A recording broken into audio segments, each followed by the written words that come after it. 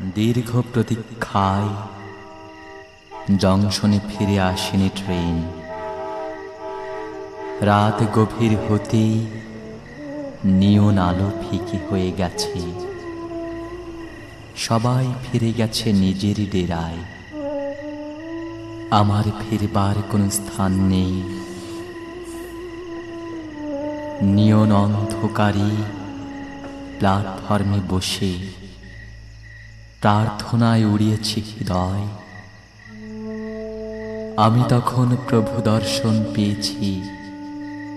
দেখেছি অলৌকিক আলো জেলে দুটি ছড়াচ্ছে।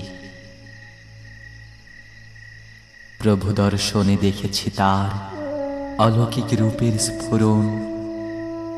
সে রূপ স্পর্শ করা যায় না, আকারে আঁকা যায় না অস্তিত্ব।